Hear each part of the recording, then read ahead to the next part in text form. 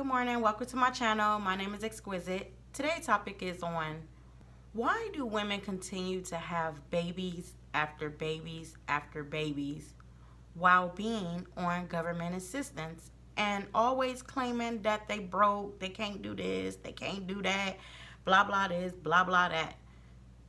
Save it.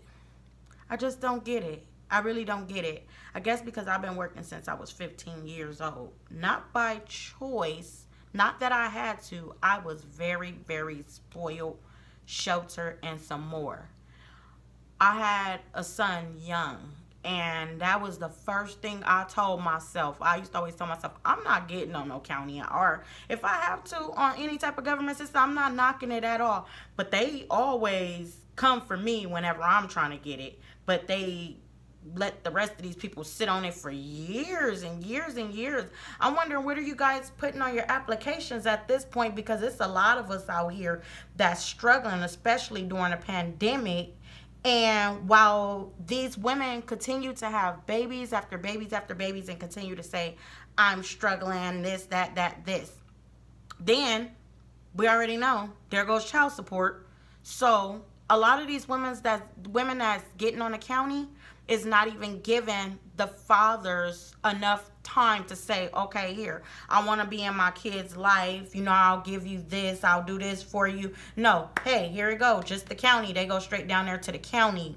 Like, the county is all up in your business and all the rest of that stuff. You got to do too much to even keep that going. And I wouldn't even want that type of energy in my life.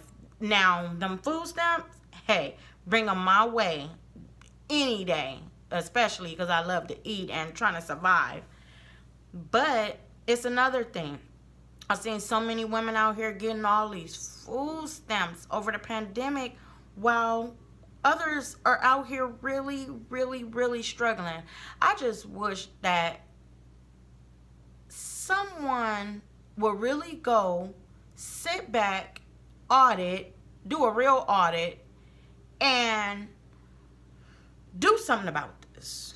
It's really sickening. It's very sad. And it's sad to see that so many fathers and mothers that's that fathers and, and some fathers do this too but i've not seen so many that do that but i've seen more mothers do this it's like you don't even give a man a chance to be in their kid's life. It's like, okay, as long as you get in this county, that's all that matters. You got to go through courts and some more stuff to even see the kids.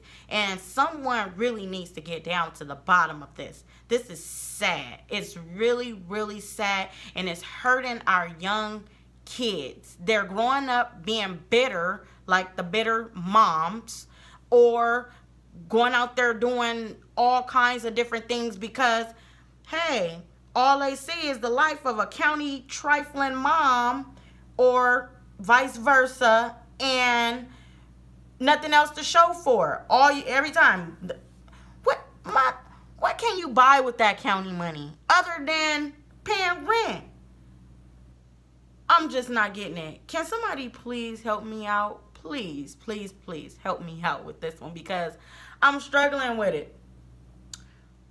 Stop depending on the county.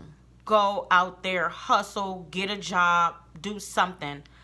I am tired of paying taxes for people that want to just sit at home and do nothing with their life. Like I am really tired of it. It's it's sickening at this point. And the county let the lowest of the low get by. Not saying that I ain't never tried to get on it and do all the rest, but trust and believe me, baby, when I tell you I had the hardest times ever, I've had the hardest times ever just trying to get on the county.